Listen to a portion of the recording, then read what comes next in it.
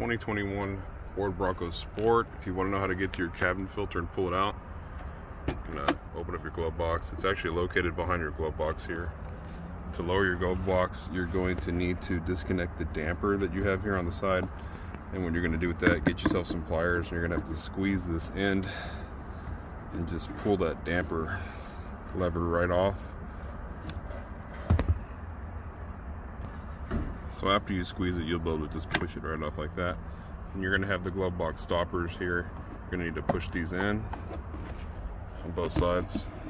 And then the glove box will lower down. Cabin filter's in this compartment right here. This is a door.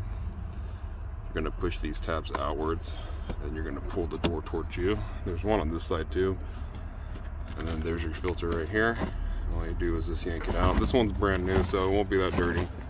But if you need one, there'll be a link down the description box. But you just pull it out and stick your new one in, and you're good to go.